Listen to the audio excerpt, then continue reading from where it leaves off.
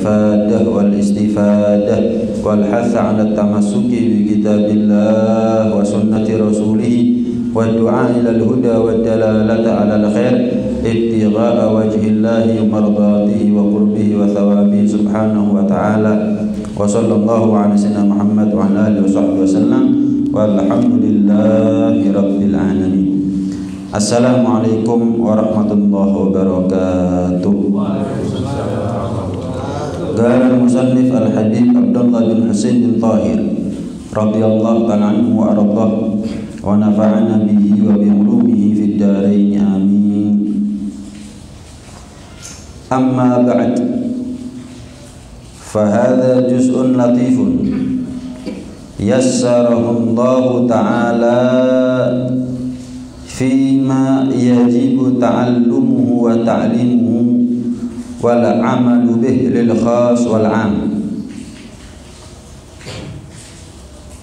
Kitab ini adalah merupakan sebagian kecil daripada apa-apa yang kita diwajibkan oleh Allah untuk mempelajarinya. Isi kitab ini adalah tentang apa pun perkara yang wajib kita untuk mempelajarinya. Bukan hanya wajib untuk mempelajarinya, tapi kita juga wajib untuk mengajarkannya. Minimal kita mengajarkan ilmu yang sudah kita pelajari kepada keluarga. Seperti yang sudah pernah saya sampaikan. Ada orang itu belajar ilmu agama seperti besi. Dapat ilmu bukan tambah baik tapi tambah karatan seperti besi yang disiram air bukan dia besi itu bisa mengambil manfaat dari air tapi malah rusak berkarat ada di antara kita yang dapat ilmu itu seperti aspal. Bisa menyerap air, tapi nggak bisa memberikan manfaat. Nggak ada ceritanya. Pohon pisang tumbuh di atas aspal. Bisa mengambil manfaat, tapi nggak mungkin dia bisa memberikan manfaat kepada orang lain. Ada yang seperti tanah yang kering, tandus, tanah yang gersang. Selain dia bisa mengambil manfaat dari ilmu yang dia pelajari, ada kemungkinan dia untuk bisa memberikan manfaat. Cuman butuh proses. Kering soalnya. Butuh waktu untuk menjadi subur. Ada orang yang seperti tanah subur. Sekarang disirami hujan besok tumbuh. Sekarang mendapatkan manfaat besok masih manfaat kepada orang lain nah minimal minimal kalau kita nggak bisa menjadi tanah subur buat orang lain jadilah kita sebagai ayah sebagai orang tua sebagai ibu tanah subur bagi anak-anaknya. Suami bagi istrinya. Kakak bagi adiknya. Bos atasan kepada bawahannya pejabat kepada rakyatnya.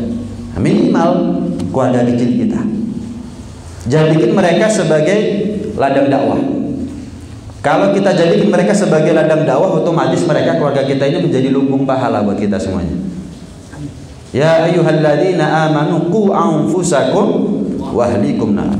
Kita ini diperintah oleh Allah bukan hanya untuk melindungi diri kita dari api neraka, tapi kita juga masuk, masuk. Masuk. Kita ini diperintah oleh Allah bukan hanya untuk melindungi diri kita dari api neraka, tapi juga kita diperintah oleh Allah untuk melindungi keluarga kita dari api neraka.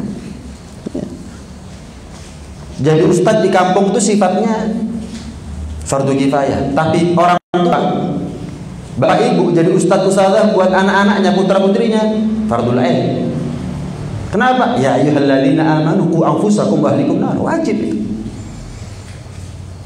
Orang tuanya baik, anaknya nggak baik. Orang tuanya di surga, anaknya ahli neraka. Waliyadzubillah. Anak kalau sudah resiko neraka, jangan tanya orang tua surga ada di mana. Awalu ma yata'allaq birrajul yaumal qiyamah ahluhu. Memang berat punya tanggung jawab sebagai orang tua. Kalau gagal, tapi akan menjadi ringan langkah dia untuk menuju surga kalau dia berhasil mendidik anak-anaknya menjadi anak yang soleh soleha. Berat kalau gagal, semua juga kalau gagal berat. Tapi kalau berhasil, beruntung. yang pertama kali nuntut kita nanti di akhirat bukan orang yang musuh sama kita, yang nggak senang sama kita di atas dunia. Justru dari pihak yang notabene yang mereka ngomong sayang sama kita, kita sayang sama mereka. Siapa? Anak istri kita. Khud min haqqina ya Rabb. Ya Allah, aku tuntut apa yang menjadi haknya kami yang ditelantarkan oleh orang tua kami semasa hidupnya. Dituntut. Makanya kita ini jangan kesian sama anak dalam urusan syariat. Kalau kita kesian sama anak dalam urusan syariat, nanti di akhirat anak gak kesian sama kita. Kita kesian. Carno si nom. Macam-macam kan alasan kita. Kesian, kesian, kesian, kesian, kesian. Nanti di akhirat mereka nggak pakai mikir untuk ngacung kepada Allah, protes kepada Allah, walaupun orang tuanya yang harus dihakimi oleh Allah Subhanahu Wa Taala. Nggak ngurus. Long hidup di atas dunia aja ada kok. Anak yang mengajukan perkara kepada hakim atas tingkah laku orang tuanya. Itu lo nggak pantas. Anggap orang tuanya salah misalnya. Itu lo nggak pantas. Di dunia sudah banyak kasus anak nggak kesian sama orang tuanya. Badal nggak genting-genting amat hidupnya. Si anak ada di atas dunia lagi gimana nanti di neraka? Genting betul nggak terima nggak terima temenan kalau anak itu masuk neraka orang tuanya masuk surga nggak terima nggak terima temenan sudah nggak ngurus sudah salahin kak aku gak direken nah Bayang di dunia ada ya anak yang tega. Padahal di akhirat lebih parah keadaannya, lebih genting keadaannya. Oh, lebih banyak lagi anak yang durhaka sama orang tuanya, yang lebih tega kepada orang tuanya. Anak umur 7 tahun diajak ke masjid bagus. 17 tahun gak diajak ke masjid. Keliru. Nanam bibit pohon rambutan. Diprediksi tumbuh 6 bulan.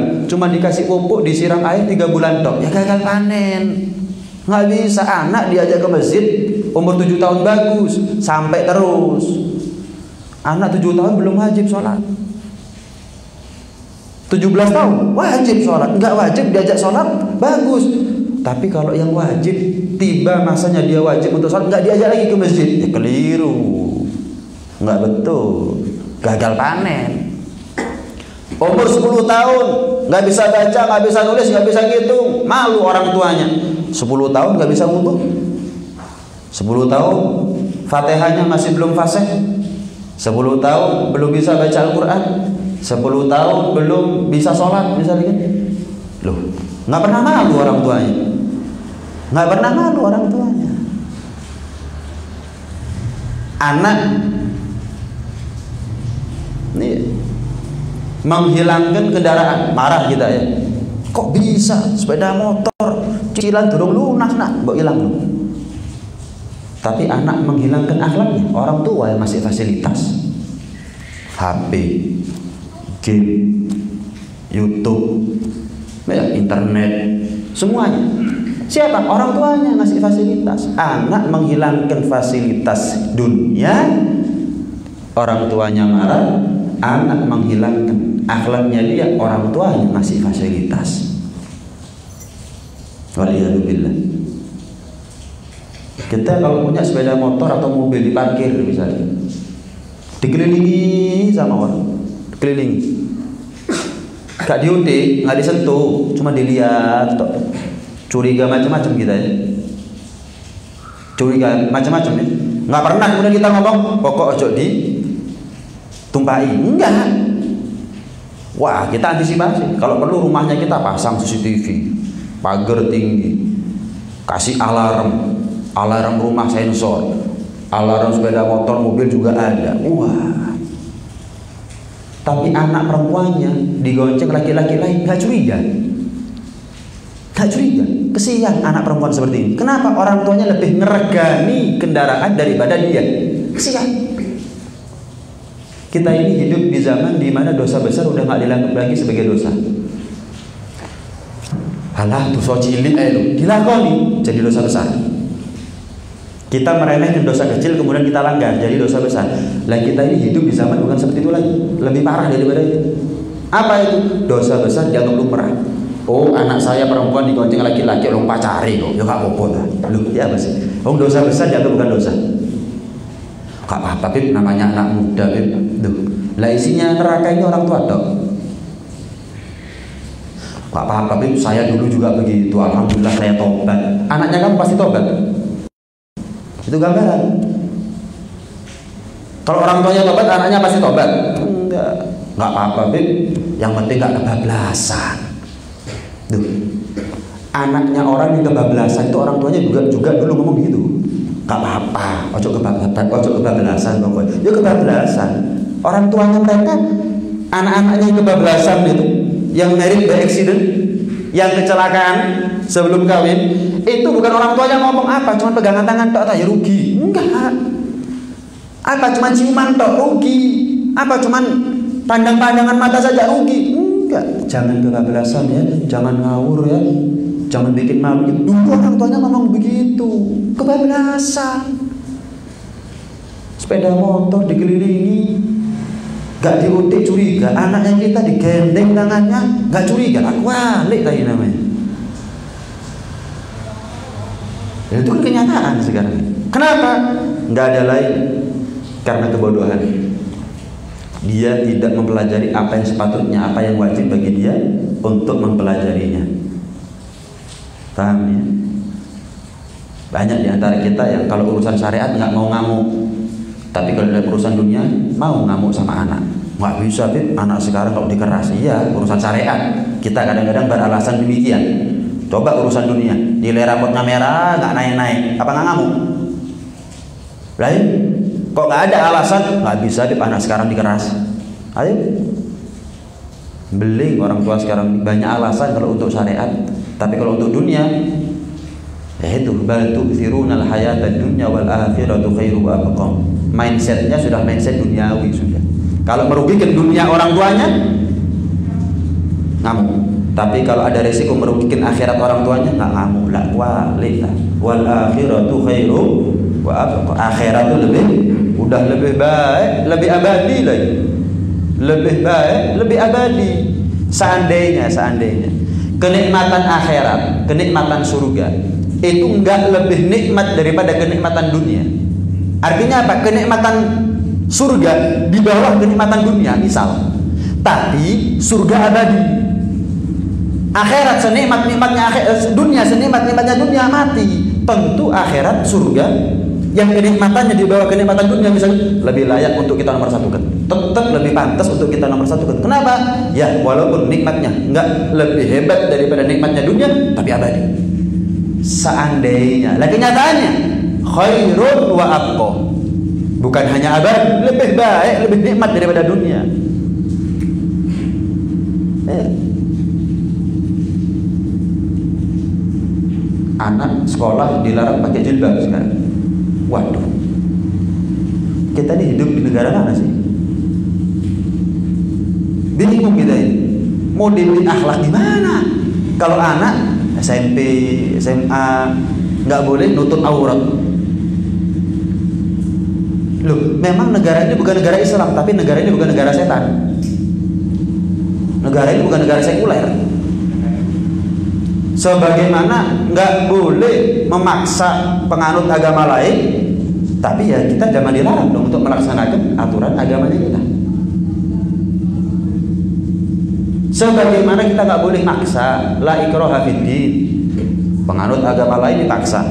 Ya nggak bisa. Lah masuk dipaksa sholat, dipaksa baca Al-Quran, ya nggak bisa. Mereka nggak iman dengan itu semuanya. Tapi kita sebagai penganut agama ya nggak boleh dilarang dong. Lalu ini Tuhan yang apa namanya negara yang berketuhanan kok. Dilindungi undang-undang juga repot. Wah repot kalau seperti ini. Karena itu kalau kita nggak bekali betul anak kita dengan ilmu agama, zamannya kita dengan zamannya anak kita. Lebih parah zamannya siapa? Anak kita. Orang tua kita keras sama kita. Jadinya masih seperti kita. Padahal fitnahnya zaman di zaman kita lebih minim daripada fitnahnya zaman anak kita nanti. Kenapa kita tidak mengantisipasi lebih dalam agar anak kita enggak tergerus oleh zaman lebih daripada antisipasinya orang tua kita terhadap kita agar kita enggak tergerus zaman itu pun kita masih keserempet Dan gimana dengan anak kita yang fitnahnya lebih besar daripada fitnah zamannya kita? Gak apa-apa, keras dalam urusan syariat itu nggak ada masalah. Nggak ada masalah. Keras dalam urusan syariat, bukan kasar lu ya. Bukan kasar, keras, tegas. Doktrin anak kita dalam urusan prinsip. Contoh, antum mau makan babi, jijik nggak ngeliat babi, ngelihat dagingnya jijik. Kenapa? Itu buat dari doktrin.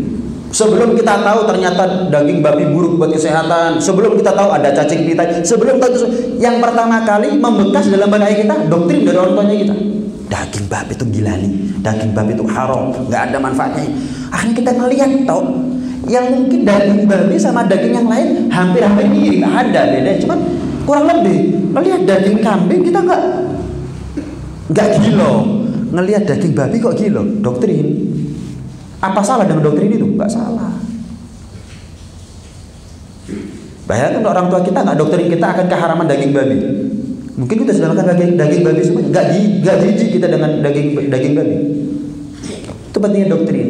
Doktrin nggak mungkin mancep eh, dalam benak seorang anak kecuali ketegasan prinsip yang ditegakkan oleh orang tuanya. Sholat, Wah, sehari lima kali tanya subuh, duhur, asar, maghrib, isya.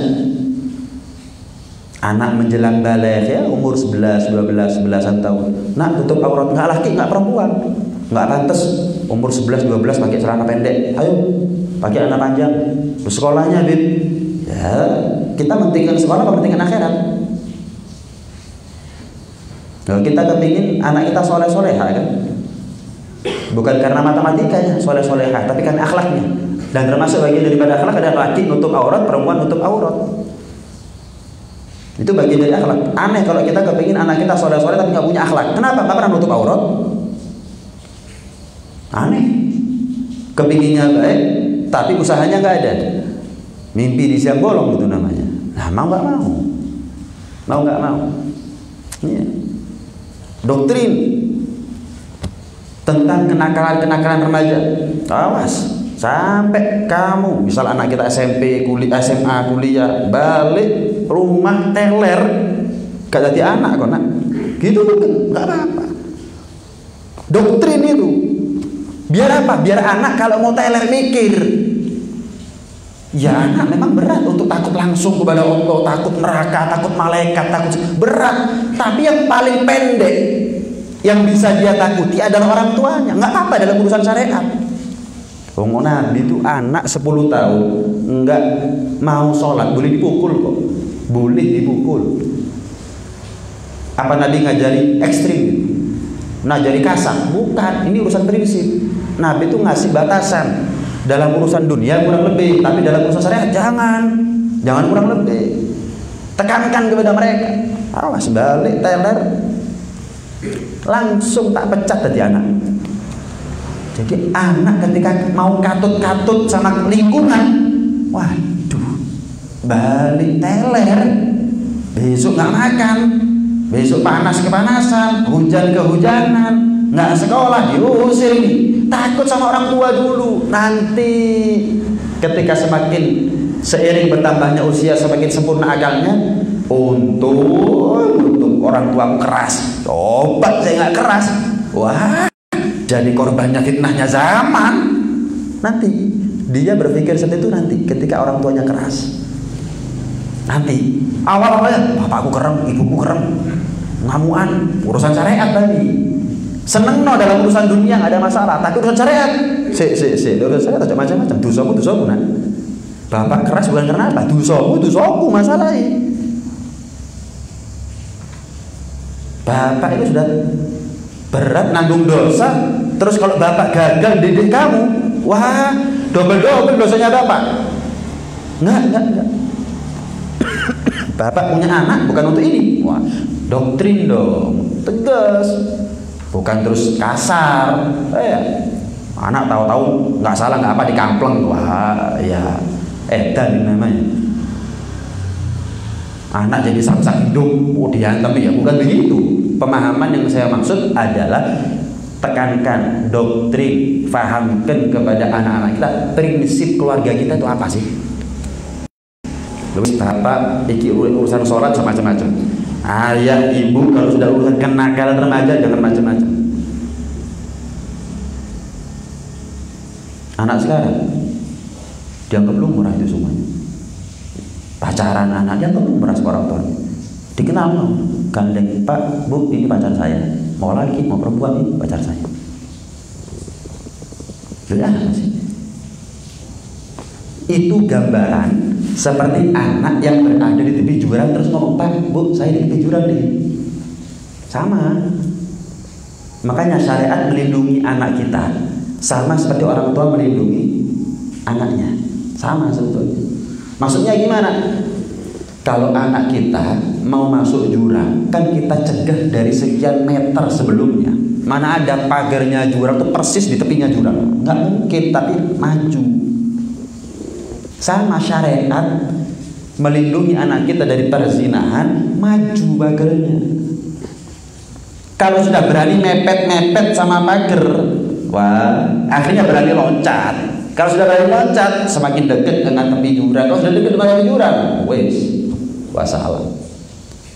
Kalau anak kita pulang ke rumah mengenalkan setiap Sabtu misalkan Pak ini pacar saya Pak ini pacar saya. Itu sama anak kita ngomong Pak saya sudah di tepi jurang. Pagar sudah saya loncati sekarang saya sudah di tepi jurang. Gimana? Sama. Wala takrohu zina bukan wala tazni jangan zina ya. Bukan.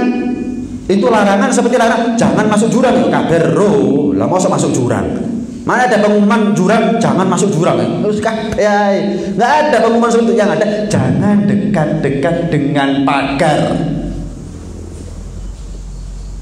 Sama syariat juga begitu. Jangan mas, jangan zina ya. Jelas lah. Innahu kana fahisyatan wa sa'asabila itu perbuatan yang keji, buruk. Tapi apa?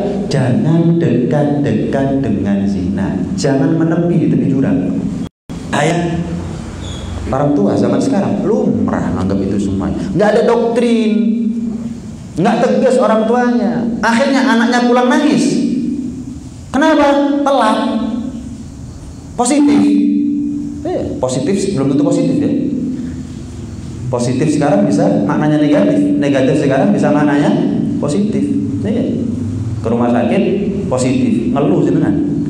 Nih, ke rumah sakit negatif, alhamdulillah sama anak pulang nangis kenapa positif. Negatif buat orang tuanya dunia akhirat caranya balik gimana kadung isi ini loh gimana caranya balik keadaan coba ya telah kaset sudah. Kaset di dunia. Belum lagi kaset yang harus dia tanggung. Nanti di akhirat nggak bisa. Anak ini kalau nggak kita atur gedenya nggak punya aturan. Nggak mau nggak mau ya opo gimana kita ini Masa diumbar anak itu? Saya bib orang tua yang moderat bib, nggak apa-apa anak. Ya nggak bisa dong.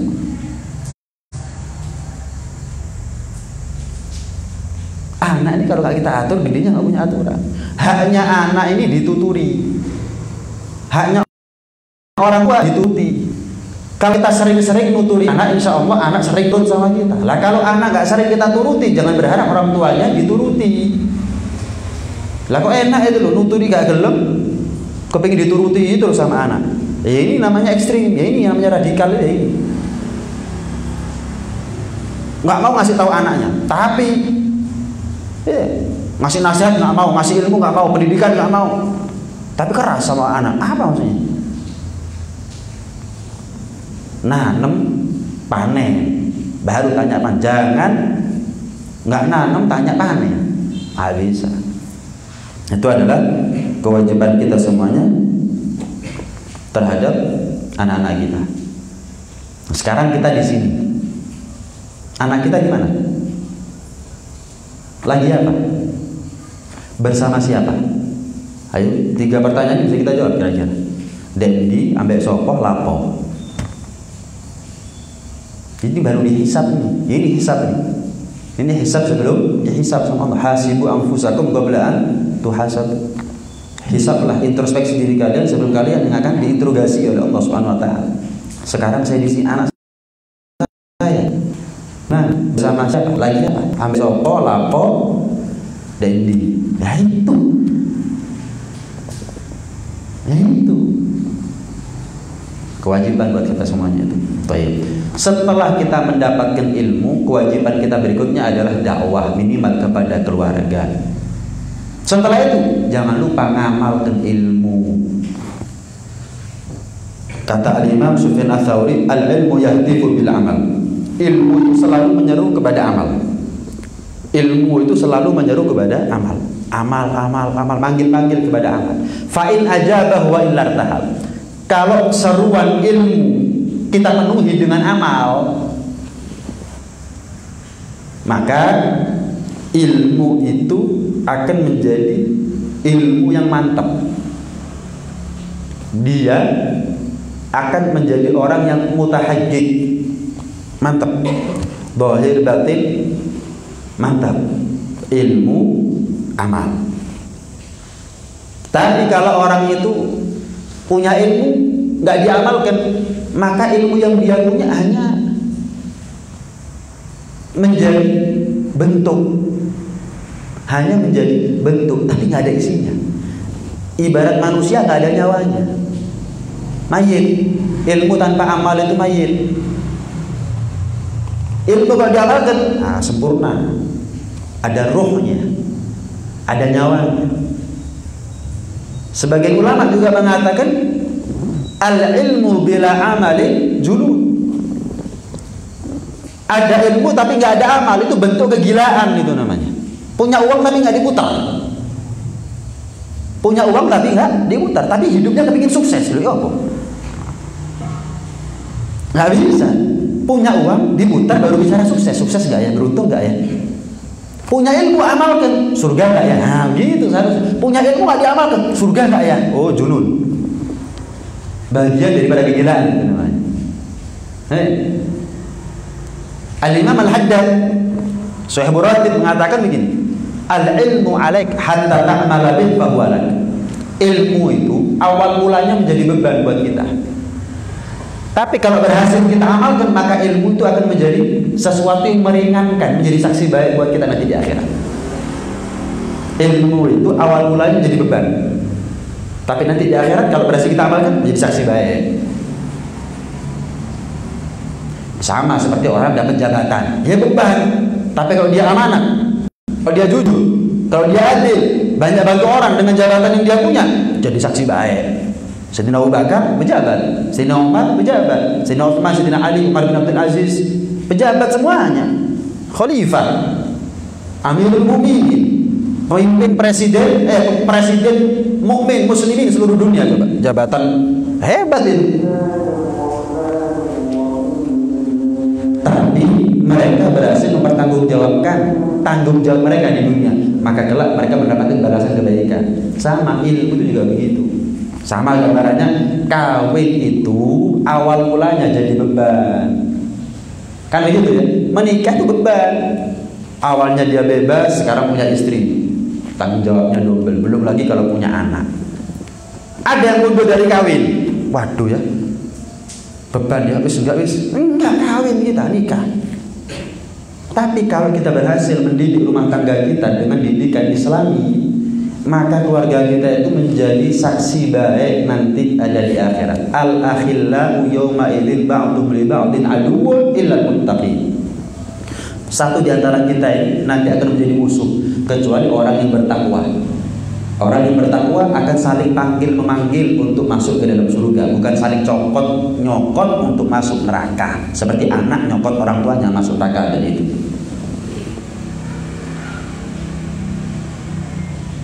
Ilmu pertama kali kita dapatkan menjadi beban.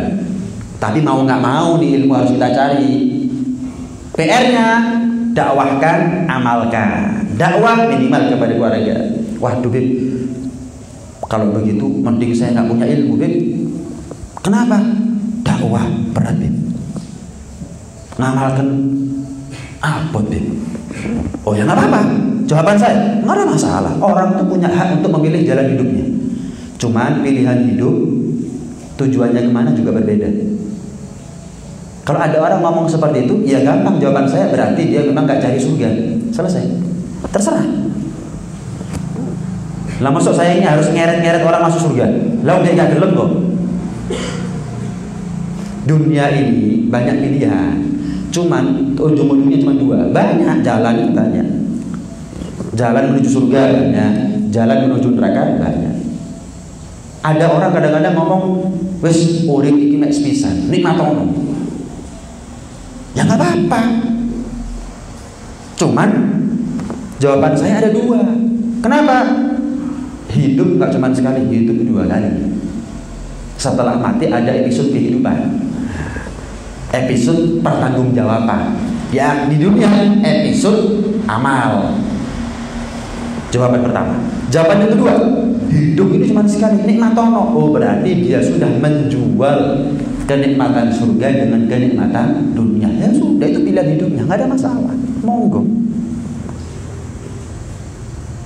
Orang yang ngomong seperti itu satu di antara dua, nggak iman sama hari akhir atau karena kebodohan. Banyak kan orang yang nggak iman sama siksa kubur, yang nggak iman sama ya pokoknya mati kemari selesai sudah makanya itu mumpung hidup nikmati oh ya silahkan Weh, kalau begitu saya nggak mau belajar, Bib. harus dakwah, amal, berat, Bib. Oh, ya nggak apa-apa. Berarti tujuan kamu bukan surga. Selesai. Aku bingung. Masa saya heret-heret gitu? Justru kadang-kadang jawaban ini jadi shock terapi. Loh, ya nggak ngono. Lah, kan? Jadi sadar kadang-kadang. Sama seperti orang yang, eh, iya, disetrum itu loh denyut jantungnya kemudian hidup ya loro disetrum itu sakit tapi shock terapi akhirnya sadar maaf orang setrum disetrum ya kemudian ditusuk jarum apa namanya aku puntur sakit cuman ya itu pengorbanan untuk apa selamat sama mencari ilmu berat dakwah berat, mengamalkan ilmu juga berat. Itu pengorbanan, kepingin surga, mau mau berkorban, itu pengorbanan sudah hal yang wajar. Lalu kawin itu juga berat, tapi kita mau berkorban kan? Ya sudah, ini urusan akhirat. Kenapa kita nggak mau nggak mau berkorban? Tadi ada, maaf, ada satu orang buta, satu orang buta. Setiap hari dia berangkat dari kotanya belajar ilmu agama. Jaraknya jauh, nggak punya kendaraan dituntun sama anaknya perempuan, tuntun. Jelas ya, dituntun. Ini orang buta, setiap dapat satu masalah, setiap dapat satu ilmu pulang. Berarti kalau punya 365 hari berarti dia sudah mempelajari dan mengamalkan 365 ilmu. Banyak ya. Bayangkan kalau kita punya setiap hari satu hadis kita pelajari, kita amalkan. Udah setahun 365 hadis kita pelajari dan kita amalkan. Gak usah ngafal no, wis, dipelajari, diamalno, didawahkan kepada keluarganya. Wis, 365 hari. Wow. Ini juga begitu. Berangkat ulama dulu jauh-jauh Ya, nggak seperti kita sekarang. Ulama dulu itu kalau orang mau belajar tenanan, ya harus jalan jauh memang. Berangkat. Dapat satu masalah, diajarkan diamalkan pulang. Wes selesai. Sekali waktu di tengah jalan kebelet, kebelet tipis. Ngomong sama anaknya, putriku cari ke tempat yang sepi ya. Belum kenapa pak? Saya mau pipis. Oh iya. Wes cari ke tempat yang sepi. Eh, gurun pasir begitu. Kemudian Katanya anak, sebentar Pak ya, tunggu sini. Loh, kenapa nak? Saya mau apa? Ngeruk tempat Bapak qadaul hajat nanti.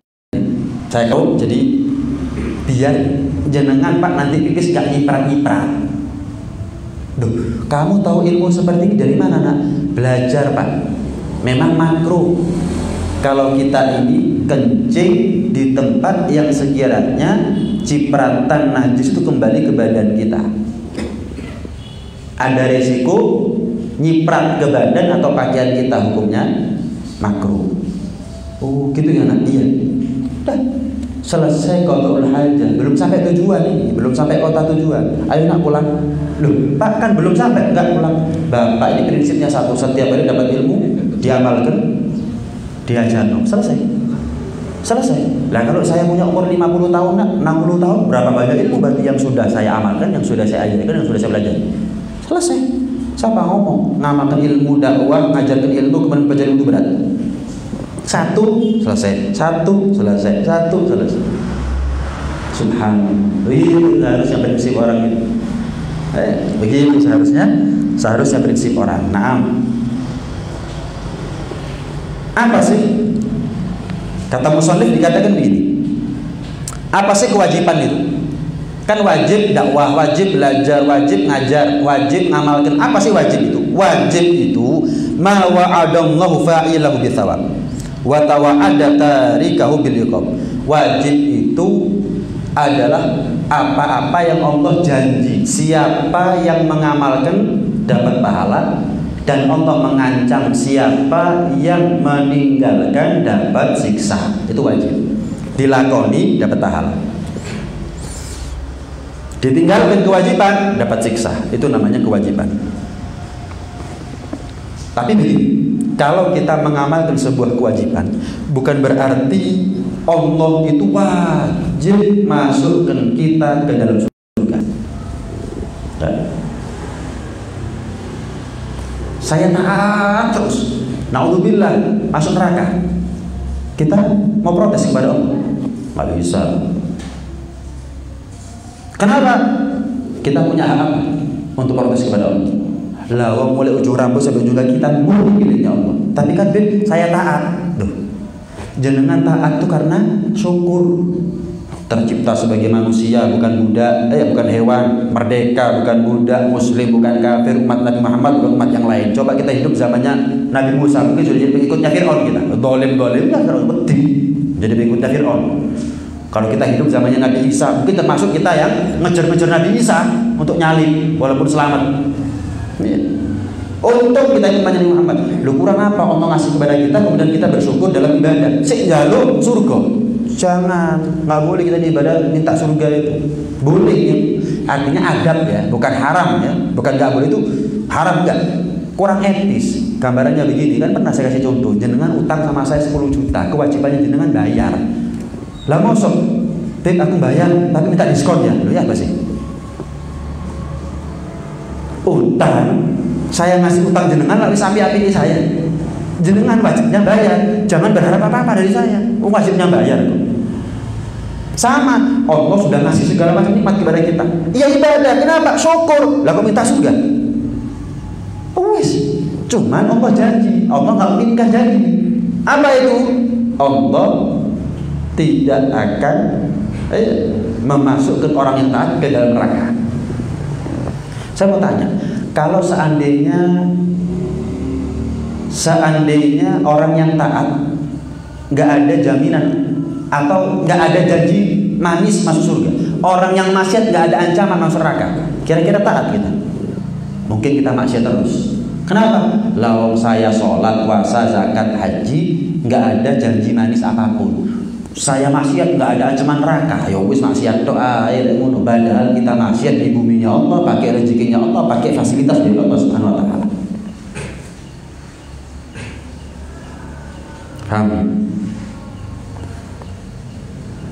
ya nggak pantas dong. Nggak taat berarti kita. Berarti kita ibadah karena surga neraka bukan karena Allah. Seandainya nggak ada surga neraka kita nggak taat sama Allah. Loh yang ngasih kita nikmat itu surga neraka apa Allah? Berarti kita ini ibadah ya dalam rangka syukur Nabi itu ketika sholat sampai kakinya bengkak ditanya sama si Aisyah radhiyallahu taala anha Ya Rasulullah ya suamiku, engkau sholat sampai kakinya bengkak. Padahal engkau ini terjamin masuk surga. Manusia suci. Kenapa? Afala aku dan syakuro. Apakah aku nggak pantas untuk menjadi hamba yang bersyukur? Jawaban Rasulullah bukan, ya karena saya kepingin surga Aisyah. Bukan. Nggak pantas kalau Rasulullah bilang itu. Kenapa? Berapa banyak nikmat yang Allah berikan kepada Rasul secara khusus. Dalam rangka mensyukuri nikmat-nikmat tersebut, Rasulullah sholat sampai kakinya bengkak. Syukur, bukan ya kan saya kepingin selamat dari neraka masuk dalam surga. Bukan itu jawaban Rasulullah. Nah dari situ, dari jawaban Rasulullah kita belajar itu Rasulullah. Lagi mana kita? Kita sholat geringingin aja nggak pernah kadang-kadang. Eh. Terawih mungkin 20 rakaat, tapi yang rasanya 8 rakaat. Jadi sekiranya masuknya bareng, keluarnya bareng, badan yang satu 20, itu 8 itu badan.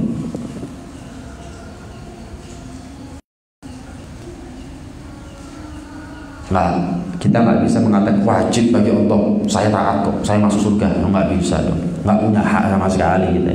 Lawung mensyukuri nikmatnya Allah dengan ibadahnya kita itu belum jangkep. Kita ini bayar utang belum lunas kepada Allah. Lah kok jalur diskon ini kan aneh. Jalur korting ini kan aneh. Bayar utang turun. Saya minta diskon ya, ya sih? Bayar turun badan. Kita ini syukur sama Allah belum, minta surga ya. Tapi bukan berarti ya wis gak usah mau minta surga, ya, bukan begitu. Artinya apa? Motivasi kita taat bukan surga. Motivasi kita taat adalah Allah, adalah bersyukur atas nikmat-nikmatnya Allah. Masalah kita minta surga nggak ada masalah, tapi motivasinya itu bukan surga.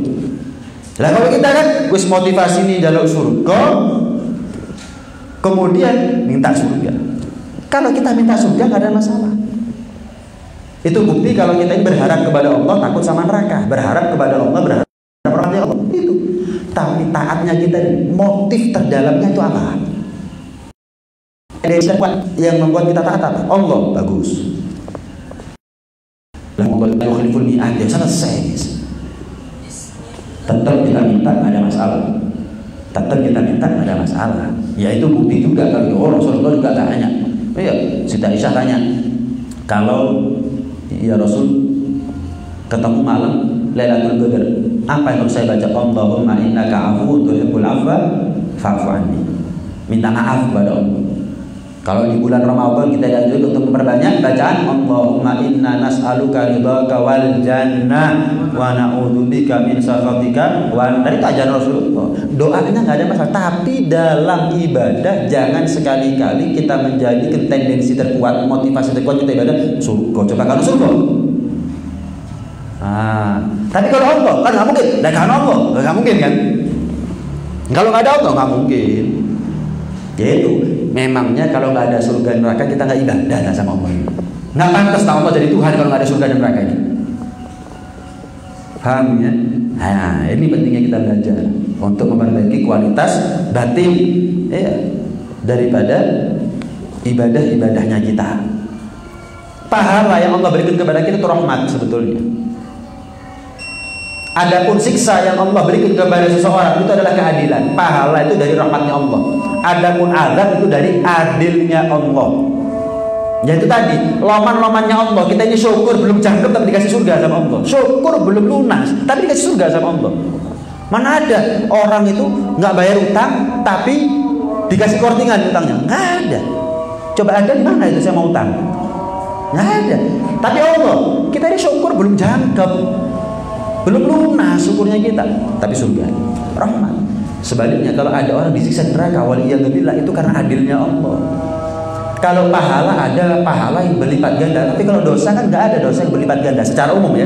Walaupun ada dosa yang dilipat gandakan oleh Allah. Maksiatnya satu tapi dosanya double-double. Kenapa? lah maksiat di Mekah? Di tempat-tempat mulia, di waktu-waktu yang mulia, fala tablimu fihin anfusakum. Empat bulan yang mulia ini jangan sekali-kali kalian berbuat dolim. Muharram, Dhul Qa'dah, Dhul Hijjah, Muharram, Rajab. Di waktu-waktu empat bulan ini jangan sekali-kali kalian berbuat dolim kata Allah. Apa maksudnya? Bisa panen pahala, kenapa panen dosa? Kok bisa panen dosa? Karena maksiat di waktu-waktu yang mulia pelecehan terhadap apa yang dimuliakan oleh Allah Subhanahu wa taala dosanya double. Ada orang masuk rumahnya kita nggak melepas sepatu, pelecehan, apalagi masuk masjid. Sanksi sosialnya lebih berat. Nah, sama seperti itu. Tempat-tempat yang mulia ya harus kita jaga kemuliaannya. Dengan apa? Jangan maksiat. Waktu-waktu yang mulia juga harus kita jaga kehormatannya. Dengan cara apa? Jangan maksiat. Kalau kita taat di waktu dan tempat yang mulia, double pahalanya. Kalau kita maksiat di waktu dan tempat yang mulia, double dosanya. Tapi secara umum orang itu dapat dosa adil, setimpal setimpal lebih gampang masuk surga daripada masuk neraka masuk surga gak bondo masuk neraka bondo. Eh, sholat gak bondo surga. Puasa gak bondo surga. Paling kawin bondo. Eh, tapi kan enak. Kita menikmati itu. Dan rezeki juga tetap dari Allah kok. Bukan bondo murni dari kita ya rezeki dari Allah juga. Tapi kalau kita maksiat wah hampir nggak ada tuh maksiat yang gratis. Sedikit maksiat yang gratis. Tapi neraka wah berarti siapa bilang masuk neraka itu gampang? Enggak asli ini soro siapa bilang masuk surga itu soro asli ini gampang. Kalau orang itu dapat ilmu terang melek. Oh ini ada pilar ojo sampai ketatap oh ini ada batu jangan sampai kesandung selesai. Tapi orang peteng yang tatap tatap. Kesandung kesandung beset semuanya. Kenapa? Jauh daripada ilmu agama. Wah sehingga karena peteng dia merasa soro nih melakukan tukok kinang kono selamat gak ketatap gak kesandung cek soro nih selang peteng ya soro. Ya susah. Dari sini pulang ke rumah gimana caranya selamat? Tapi petang jalannya atau malah ya soro kesandung tabrak tatap benjut semuanya. Coba melek oh iya gampang ya? Gampang. Sama. Soro mlebu surga nggak punya ilmu nggak tahu triknya nggak tahu caranya semua kalau nggak pakai cara ya berat nyetir sepeda motor gampang buat yang bisa lah kalau nggak bisa, soroni sih tiba-tiba ya sama. Masuk surga itu bagi orang yang punya ilmu gampang. Lah lapo belain rokok, bondo mana? Surga gratis. Nah, kan gitu. Buat orang yang punya ilmu. Lah kalau orang nggak punya ilmu, gelap mata, merem. Waduh, soroni mlebu surga. Mlebu rokok aja bondo ada. Lo kan aneh. Kenapa? Eh, ini sudah nggak ada musuh yang paling musuh kata Imam Ja'far As-Sadiq lebih daripada kebodohan nggak ada musuh yang paling nyata musuh yang lebih musuh daripada kebodohan nah mohon alam insyaallah kita lanjutkan di pertemuan yang akan datang mudah-mudahan jadi ilmu yang manfaat, jadi ilmu yang barokah untuk batin dunia sampai ada di akhirat. Dan mudah-mudahan kita dipanjangkan umurnya oleh Allah dalam keadaan sehat walafiat, dalam keadaan taat kepada Allah, patuh kepada Rasulullah dalam keadaan selamat dari musibah, selamat dari segala macam penyakit, wabah, selamat dari segala macam bentuk ujian dari Allah Subhanahu wa taala. Mudah-mudahan kita dipungkasi umur kita dengan pungkasan yang baik, pungkasan husnul khatimah, dipanggil dengan panggilan sayangnya ya ayyatuhan nafsul mutmainnah irji'i ila rabbiki radiyatan mardiyah fadkhuli fi ibadi wa jannati. Amin Allahumma amin. Amin ya rabbal alamin